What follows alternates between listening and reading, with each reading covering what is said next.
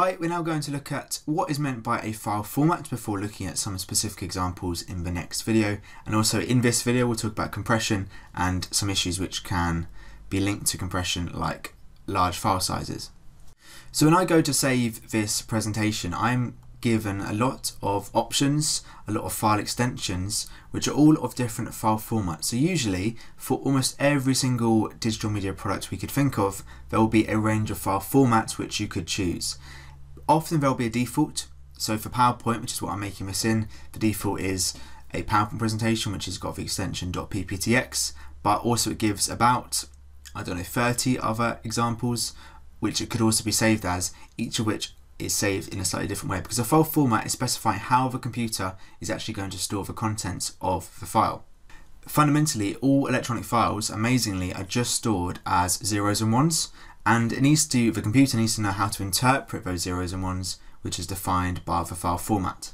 And the file format will determine exactly how you are going to interact with the saved file. So a .pptx allows me to do animations and so on whereas a PDF would just be a static slide deck. But also a file format will affect other properties like the file size and also the file quality. So by file, file size I mean how much space is it going to take up on some memory Quality is harder to define because it's not a discrete number, but for media like audio, images, video, which we'll look at in the next video, clearly there is a perceived quality. Is it in HD? Is it in 4K? And this can also be derived from the file format we choose to save it in. And oftentimes it is a choice. As designers, we are allowed to save it in whatever format we think is most suitable. Sometimes it will be defined by your organization. If everyone in your organization is using one file format, you save it in another file format might mean your work is not compatible with the rest of the work in the company.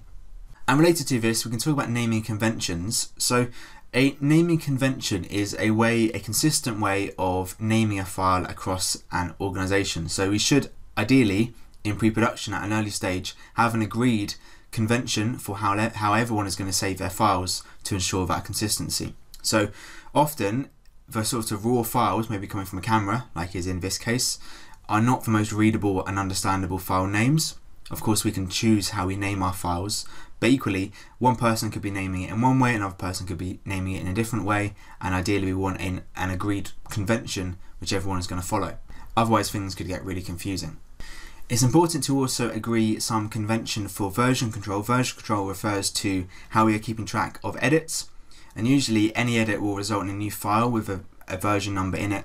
So you might just append v1, v2 on the end of a file. It shows you that that file is the newest version and has some changes. Not having a clear way of tracking versions, especially between people on a team, makes it really hard to know which file is the latest and also which file was the original.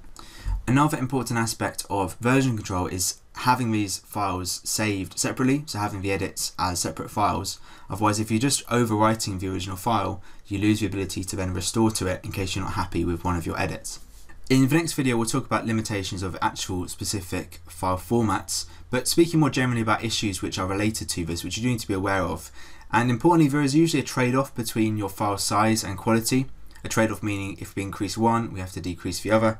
So if we want a very high quality file, we need to store more data, and so the file size gets bigger. If we want a small file, we may need to sacrifice some quality in order to cut down on the actual data being stored.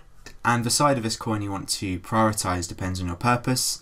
So the size of a file you're going to download from the internet is better to be smaller, have a smaller file size, so it'll be quick to download. If you're building a website, you don't want you don't necessarily want a massive high quality file if it's going to take a long time to download. However, if you're doing something which requires a very physically large image, so it's like a billboard or a large poster or something like that, you need to make sure it's high enough quality, which usually means it's got a high enough resolution, otherwise it'll become too pixelated. The resolution is the detail an image holds, and it's usually expressed using pixels, the pixel being the smallest identifiable aspect of an image, so a small square, really, a block of colour. And you can see on the left here where we have just one pixel. And as we steadily increase the pixels the image gets higher quality. It becomes less pixelated less blocky because we are adding more pixels and it's becoming high quality through increasing the resolution. Now during production if you are taking a photo or filming a video you want to do it in as high resolution as possible even if the file size is quite large because you can't increase resolution after you've created the file or not easily and not with high enough quality, but you can cut down on the file size using compression. So compression is just reducing a file size, making it smaller so it takes up less space. And some file formats have compression built in, otherwise you can pass a file through a compression program which will do this for you. There are two ways which compression programs can work, the first of which is lossy compression. So in this type of compression, the program will selectively delete some of the data. So what it's doing is, is looking for what data it can remove without having a large effect. And this can save quite a lot of memory space. It can massively reduce your file size because you're actually deleting some of the data, but it's going to reduce quality. Because we are sacrificing some quality here, usually lossy is applied only to things like images, audio, video, because the quality is not always the most important thing, or is not essential in all, in all cases. Like a, a text document or a presentation, you can't just cut out some of the text because it will then make no sense. But video could be slightly less high quality and still be okay. So for types of files which are for text documents or for spreadsheets or so on where you can't really afford to lose any of your data, you can use lossless compression. And all this is doing is not deleting anything, it just rearranges the data to make it be stored more efficiently. So it kind of shuffles the data around to make it be stored in a, in a better way which uses less space. So you don't have any quality loss with lossless compression, but because you're not actually cutting any data, it doesn't always lead to a large reduction in storage space. Lossy is generally much more effective, but like I say, can't be used on certain files without causing massive issues.